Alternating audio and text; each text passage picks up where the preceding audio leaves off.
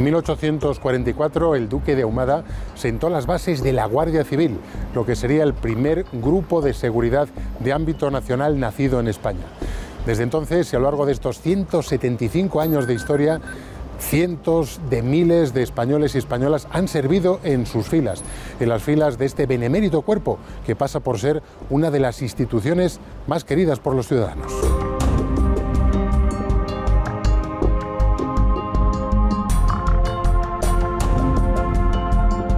Teniente Coronel, 175 años de una institución que ha ido creciendo, que ha ido evolucionando como lo ha hecho eh, la propia sociedad, el propio país.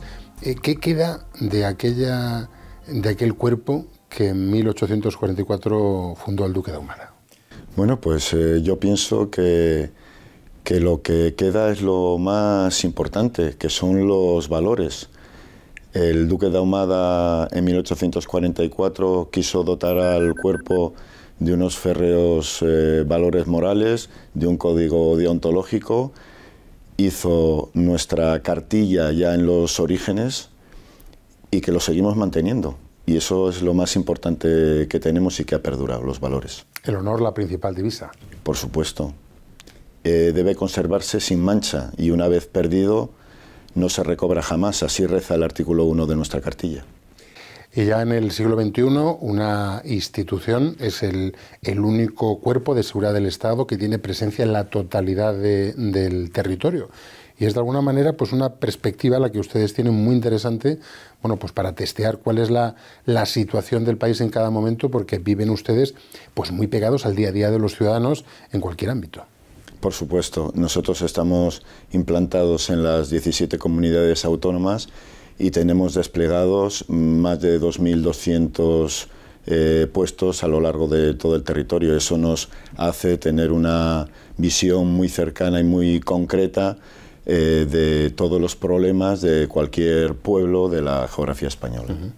Y con más de 80.000 efectivos. Es, eh, suponemos una organización compleja de, gestionar por la diversidad de, funciones, muchas de ellas pues muy poco conocidas, porque dependen ustedes eh, orgánicamente del Ministerio del Interior, jerárquicamente del Ministerio de Defensa, pero también tienen una conexión con el Ministerio de Hacienda, con el de Medio Ambiente, eh, singularmente con organismos como la Dirección General de Tráfico, es decir, con una multiplicidad de entes del Estado que hacen que sean ustedes pues muy, muy versátiles necesariamente. Sí, cierto. Eh, eh, tienes toda la razón, somos muy versátiles y al principio, tal y como lo has explicado, pues parece muy complejo, pero por esa tradición de 175 años eh, logramos mantener las relaciones con todos los ministerios, con todos los organismos, de una manera normal y, natural. Son ustedes eh, la institución más valorada por los ciudadanos. Eso indudablemente acredita que hay por parte de la sociedad una percepción clara no solo de la utilidad de la institución, sino también de la calidad del servicio de protección, de seguridad y de auxilio que prestan. Nos sentimos muy orgullosos de la opinión que tiene la sociedad de nosotros. Eh, nosotros eh, intentamos servir al ciudadano porque está dentro de nuestro eh, ADN y y el que seamos la institución más valorada también nos hace responsabilizarnos de no defraudarles en el, futuro y, eso nos motiva aún más para seguir en esta línea de servicio a, los demás servicios a España. Otro de los rasgos eh, distintivos del cuerpo, quizás eso también explique la percepción que tienen los ciudadanos, es la, innovación y la, y la modernidad. Indudablemente la función policial evoluciona constantemente, igual que evoluciona el, delito. Ustedes constantemente tienen que adaptarse a las nuevas tecnologías. Eso también tiene que ser un proceso muy complejo, porque hablando de, esos más de 2.200 cuarteles, centros o instalaciones, de esos más de 80.000 efectivos en funciones tan sumamente diversas, mantener ese listón alto es muy difícil. Es muy difícil. La desconcentración que tenemos de nuestras unidades eh, operativas hacen que la adaptación a las nuevas tecnologías sea complejo y tengamos que esforzarnos más. Lo estamos haciendo. Eh, antes hablábamos de eh, qué quedaba de la Guardia Civil de 1844 que tenemos ahora y una cosa que no queda es, por ejemplo, que los guardias civiles de 1844 iban con una cartera de caminos que le llamaban colgada del hombro. Eso ya eh, no lo tenemos, nos estamos adaptando y, ya eh, ordenadores, PDAs y tal están eh, siendo comunes en nuestro servicio diario. Y la ciberdelincuencia, que indudablemente también es objeto de la acción y de la actuación de la Guardia Civil con modernas unidades que se dedican también a proteger a los ciudadanos de los delitos que se producen en, en Internet. Pues claro, nosotros trabajamos en todos los campos. Si la delincuencia ahora trabaja a través de Internet, a través de las redes sociales, nosotros tenemos que implicarnos porque sí que eh, es verdad que el, delito cada vez más se está implantando en esos, en esos sistemas de Internet y de redes sociales.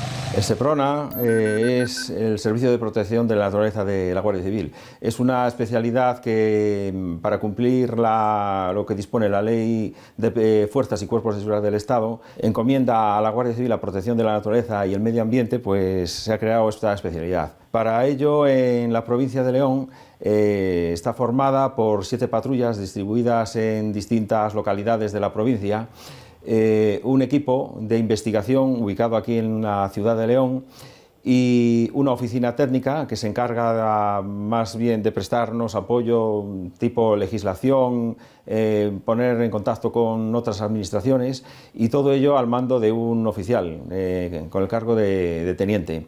Las siete patrullas están ubicadas, una, esta en León capital, otra en Riaño, en Villablino, en la Pola de Gordón y dos en El Bierzo, en Ponferrada y en, en Favero.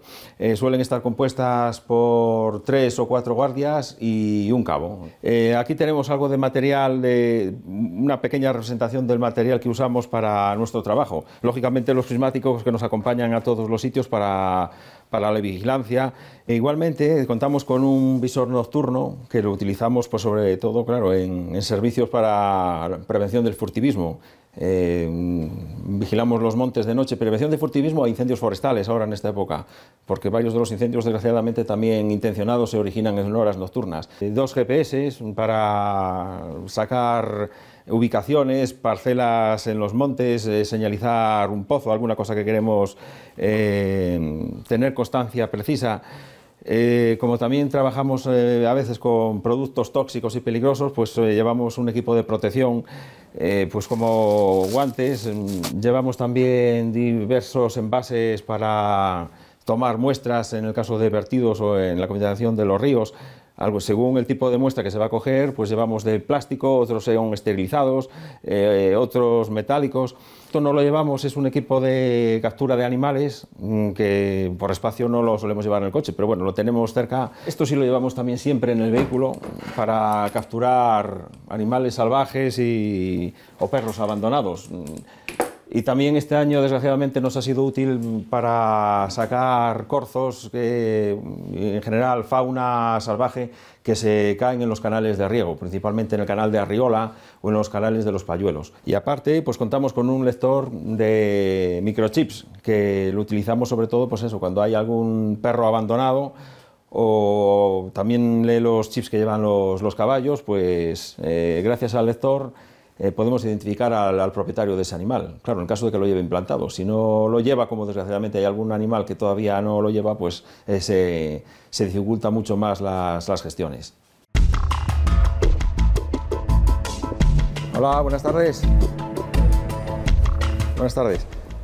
Somos del SEPRONA, de aquí de la Guardia Civil. Andamos eh, haciendo una campaña de inspección de talleres para mirar la gestión de, de los residuos. ¿El dueño quién es? Yo soy. ¿Es usted? Bueno, pues mejor. Eh, si no le importa, pues antes de nada queríamos mirar algunas autorizaciones del taller, la licencia de apertura.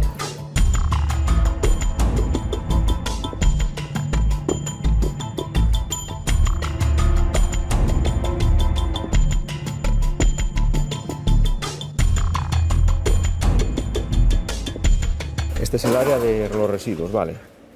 Vamos a ver. Disolvente. Vale, está etiquetado y envasado. Bien.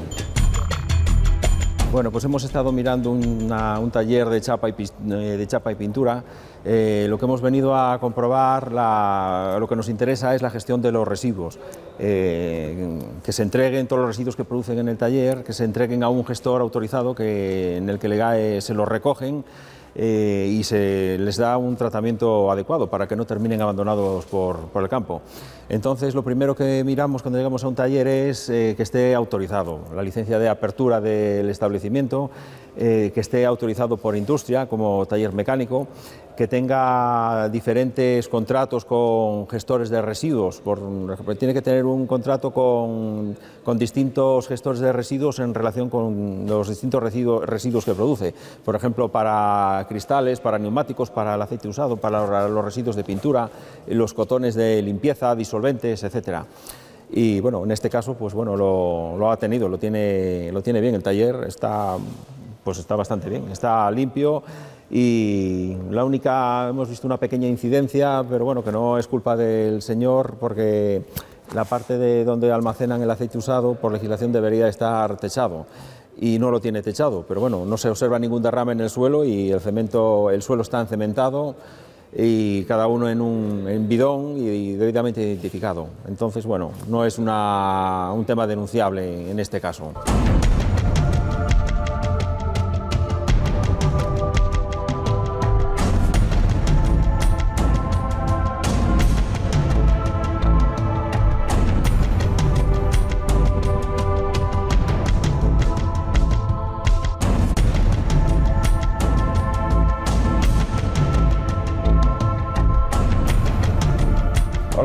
Buenas tardes.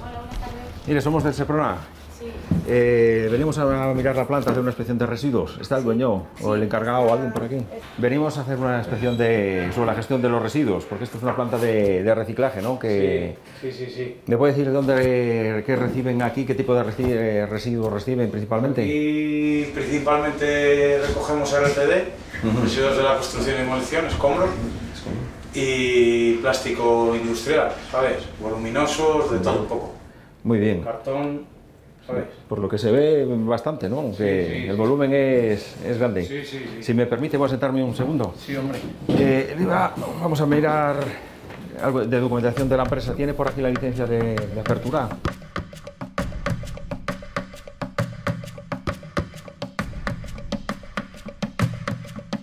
seleccionar por calidad, ¿vale? Sí, sí, sí. Viene, ¿Ves cómo viene el material? Aquel cartón que viene con plástico, flejes y tal, eso todo lo separamos. ¿Y cómo lo separan? ¿A mano? A mano, a mano. A mano, esto a mano todo.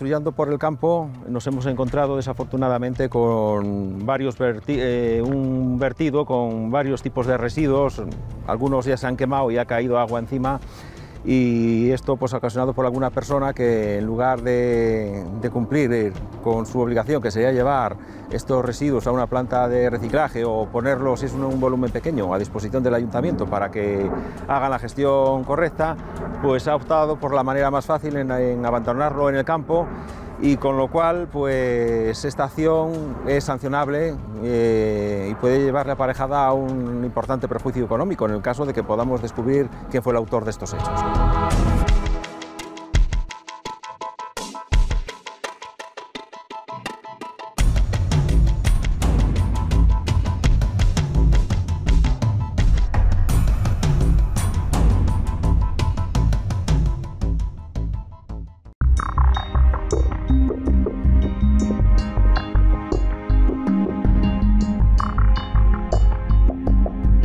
La unidad GEAS es la unidad de rescate de buceo dentro de la Guardia Civil. Sus siglas son Grupo de Especialistas en Actividades Subacuáticas y de los muchos cometidos por los cuales se nos conoce la búsqueda y recuperación de personas o objetos en medio acuático, donde sea susceptible emplear un equipo autónomo de buceo. Somos Policía Judicial Subacuática, por lo tanto trabajamos en la investigación de crímenes que hayan, eh, que hayan, que hayan sucedido. Trabajamos conjuntamente con SEPRONA en todo lo relacionado a protección de la naturaleza, vertidos, y eh, tenemos un despliegue por todo el territorio español, prácticamente hay un grupo por comunidad autónoma, excepto la comunidad de Cataluña que tiene dos grupos o el caso de Andalucía que tiene cuatro. La unidad está al mando de un coronel actualmente, hay un capitán jefe del Cruceas que es el grupo central de Madrid y luego el resto de los grupos lo componen una media de 8 a 9 hombres por unidad, al mando de un cabo, un sargento y 7 8 guardias. Eh, en el caso nuestro somos el grupo de, Castilla y León, con sede en Valladolid y al mando del general jefe de la 12 zona de Castilla y León. Trabajamos en pantanos, trabajamos en ríos, trabajamos en pozas, en charcas, en lagos, por supuesto en el mar territorial donde España ejerce jurisdicción. Todos esos eh, eh, campos de trabajo donde solemos eh, trabajar, en cuevas sumergidas, tanto de interior como, como las que hay en la costa, ese es nuestro campo. ¿no? En el caso de hoy, dentro de nuestro plan de instrucción que marca la unidad central, hay una serie de prácticas que venimos haciendo durante todo el año y en diferentes escenarios para conocer todos los lugares donde sea susceptible que podamos intervenir. En este caso hemos venido a la provincia de León, al pantano de Barrios de Luna. ¿Qué es lo que vamos a hacer? Vamos a hacer una inmersión a 30 metros y para ello vamos a emplear la técnica de una filier lastrada para que los buceadores se vayan guiando a través de esa filier. Vamos a permanecer 30 minutos en el fondo, posiblemente hagamos alguna parada de descompresión con ayuda de oxígeno para poder acortar la descompresión y lo que sí se va a simular es la búsqueda de algo, de algo que supuestamente está en el pantano, o alguien que ha desaparecido, o alguien que ha arrojado o se ha hundido, por ejemplo, un, velero, como estamos viendo aquí, que hay mucha actividad náutica. ¿no? Pues ahora están preparando su equipo individual que eh, consiste de una botella de aire comprimido, un chaleco de flotabilidad, luego sacarán el traje, eh, que en este caso será un traje seco debido a las aguas tan, tan gélidas, y el resto de material, como se puede observar aquí, las aletas, guantes, capucha, focos para ver debajo del agua, hay que tener en cuenta que aquí a partir de 10-15 metros se pierde la luz, máscara y, demás utensilios para, poder bucear. Mientras ellos están montando su equipo, verificando que todo está bien, yo comprobaré eh, que no hay ningún defecto en reguladores, pérdidas, chaleco, botellas. Y mientras lo que se hace es rellenar la hoja de inmersión con los cálculos de la inmersión tienen que tener la profundidad a la que van a trabajar, el tiempo máximo, si va a haber una parada de descompresión o no, y todo ello se hace durante, previamente, antes de, la inmersión, se rellena una hoja que luego ellos previamente firmarán, ¿vale? Y se retabulará pues con las tablas, en este caso, unas tablas de, que son las oficiales eh, para nosotros, ¿no? Y ahora lo que estamos preparando es el equipo colectivo, ¿no? Es el equipo que todo el mundo puede usar y que en este caso es una maniobra para eh, poder buscar algo o alguien debajo del agua. Es una herramienta súper útil que nos va a facilitar el poder encontrar a alguien debajo del agua del pantano ya que no hay visibilidad.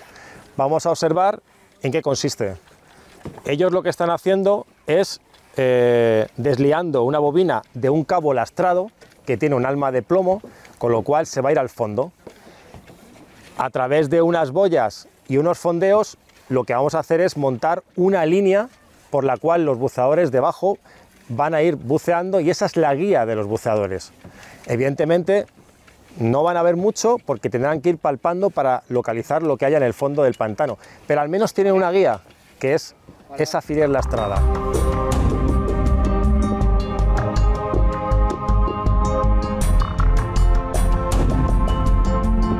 Las aguas aquí son muy frías, son trajes secos que no entra el agua y permiten llevar una prenda interior caliente en su interior. Es importante que cuellos y manguitos estén bien colocados porque si no entraría agua en el traje. y ya la función de traje seco ya no, no la cumple.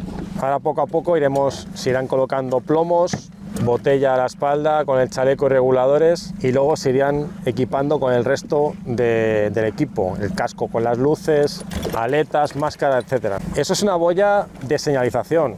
Si ellos en un momento dado se perdieran, para señalizar dónde están, a medida que van subiendo, inflarían esa boya, vale para hacer sus descompresiones y para señalizar dónde están, por si acaso se salen del campo de búsqueda.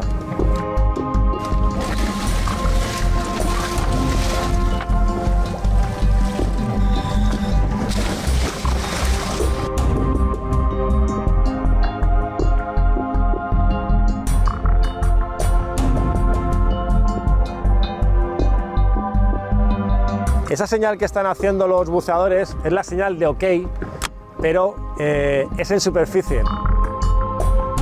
Esto en invierno es mucho más duro, porque entras, entras al agua con frío, porque aquí hay menos 3, menos 4 grados de temperatura, ya entras con frío y en la inmersión vas a perder muchas calorías y cuando sales muchas veces a los buceadores hay que ayudarles a quitarse el equipo porque los dedos casi ni los sienten. El agua está prácticamente a 3 grados, está cerca de congelarse, de hecho en algunas zonas incluso se llega a generar hielo, placas de hielo.